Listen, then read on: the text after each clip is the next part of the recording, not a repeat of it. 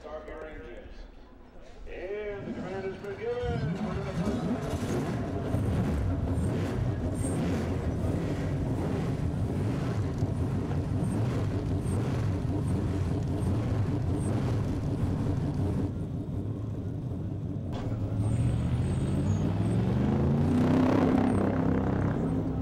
They pick numbers out of a hat. and They get like the first half a lap by themselves.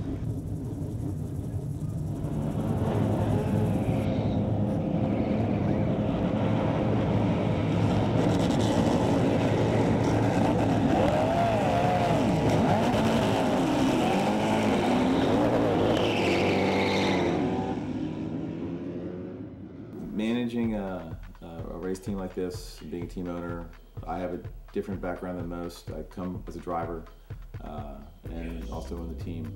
Um, it's uh, there's a lot to it. Uh, you you have to be on top of everything. You have to understand absolutely every bit of the car, every bit of the process, uh, better than the other person that, that's working for you. All the, all the other crew members, you have to know their job better than you you know better than they do. Hopefully, you want them to know it as well as you do, but that's usually not the case. Um, so, and you have to know how what it's like to be a driver. You have to know how to communicate with the driver. When a driver tells you what the car is doing, you have to be able to understand what the car is doing um, through his through his eyes, um, and then be able to make changes in it that you believe will improve it, which seemed to be the case this weekend. Um, it's it's just a lot of uh, it's just a lot of detail work. It's a lot of oversight. Of course, there's budgets involved. The money has to come from somewhere. From sponsors, you have to deal with them. Um, it, it's a it's a very uh, involved process. It's just basically like being a CEO of a, of a little company that moves its location every weekend. Laguna Seca is a very technical track. Uh, it's also very challenging in a lot of ways. With Laguna, you have the corkscrew, which is a, a cresting of a hill, and the car just falls off down like a roller coaster. And when you're heading up to that corner, all you see is blue sky and horizon. You don't see anything else, and you've got to have sort of take a pretty good leap of faith and position the car correctly, you know, with your right foot to the floor as you shoot down the corkscrew. Um, that, that's just one of the challenges that really separates the quick drivers from the from the OK drivers at a track like this. Uh, there's probably 50 or 60 different adjustments you can make on a car uh, at any given track, any given time that will affect its handling. Everyone has to use Pirelli tires, the same tire, the same compound. You have no choice, and that is a huge benefit, I think, to sports car racing because unlike some other series that have multiple tire manufacturers and compounds, and you can choose this or choose that, the more variables you can eliminate, the better. It just comes down to car prep, chassis engineering, and driverability, and I, that, that's what I think makes this kind of racing the best. Uh, this is what the car was reading, and based on these numbers, um, Pablo will tell me what to set these at before they go in the car when they're cold. Air is not as consistent as nitrogen; it gets affected by hot and cold. So, in the morning time, if you have a practice, you'll set the tires, and then if you set it in the afternoon, it's hot out, so your readings are off. What you want, what you think is your peak performance, is not actually right if you have air. Nitrogen doesn't get affected by that as much. There's the mark them so that we know how much wear is on them, how new they are, how long they've actually been on the car, how many heat cycles. Are you gonna use use them or try? What's happening? Yeah. This car's got 400 and some odd horsepower. We're pushing it. That's what's happening. My name's Rob McCabe. I'm from uh, Toronto, Nova Scotia, Canada. Uh, I'm one of the head mechanics. This chassis on this car is totally different than anything I've ever worked on. It's a six liter, it's detuned. They usually put out over 550 horsepower. It's detuned to 450. Rob's only here because we pity Canadians. Yeah, something like that. They, they live Yeah. in the frigid cold. They got a terrible government. Yeah, Nice guy, but you know, not very bright. Yeah. But we humor him. yeah. We let him think he fixed stuff, and then when he, when he leaves, we refix it the right way. But we gave him credit. We're like, "Good job, Rob." Yeah. Like, go sit in your special place. Yeah, yeah, yeah. You, uh, Qualifying, the big issue is going to be the driver, brand new tires, with no other traffic out there. So it, it, it usually means a lot. Um, the most important, the biggest hurdle we've had this weekend has been, uh, the car, the second driver getting used to the car. Now Diego has driven this car all year, and putting a driver familiar with a car in a new track is no big deal to a pro driver. But putting a pro driver in a car he's never driven in, even Yeah. at a track he may know like the back of his hand, is a challenge because this is unlike anything he's ever driven. So that's that's the learning curve. And he's been out there on tires that were decent but not great, not new certainly. Uh, so we've we've had him learn the car with less than perfect grip. 'cause Tires can cover up a lot of mistakes you make. Brand new tires, they'll, they'll cover your mistakes. So now he's been learning on older tires. Now he's going on brand new stickers, and it should be a whole world of difference for him. Should do a lot for his confidence, and he should go pretty quick.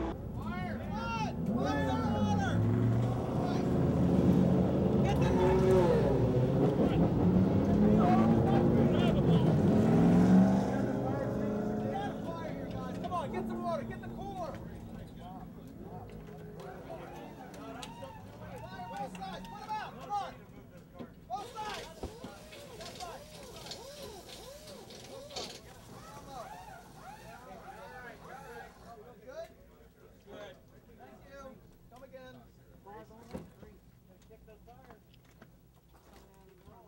Coming back? Yeah, we had a little tire fire there. Uh, what happens the brakes get so hot that when uh, they pick up the pieces of rubber or something like that from um, from the track, they they start to they, they combust when the car comes to a stop because there's no air cooling them off, and the temperature is about 800 degrees on the brake disc, and that will combust rubber. What happens is when it starts to spread and burns one of the ducts, or there's more rubber there, then it gets bigger, and then of course, as we all know, fire gets bigger, and fire doesn't stop till it stops burning things. So we just shot it with some cold fire, cooled it down, took away the oxygen, problem solved.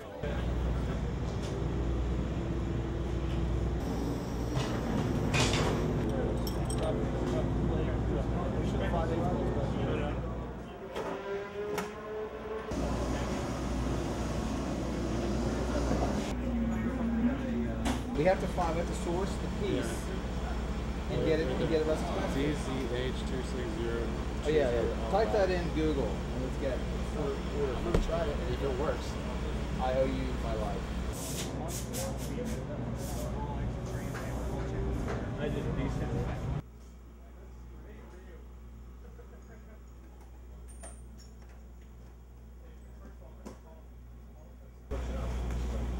Well, it's so much easier when you do it from the back.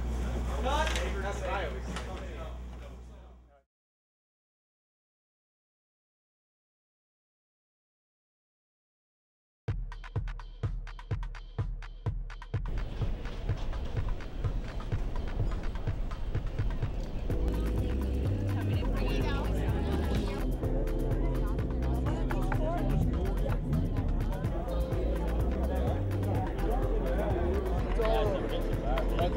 you're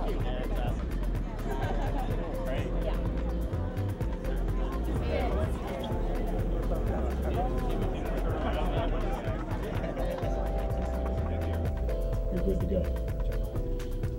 Historically, we're the only sanctioning body that's managed to pull off every race here without having a wreck in turn one. That's what I expect to see continue here.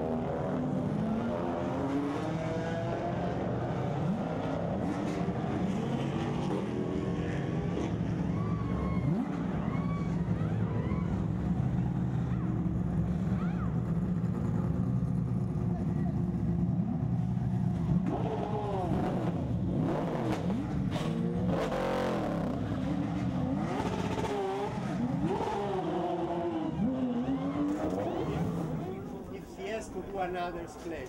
Force to to to. to his next stop, you're getting in. Okay, but uh, he, he, he's withdrawn from the engine. I don't know why he did that. He didn't know. On that tire load and fuel, there won't be no stop. That's the, that's the plan.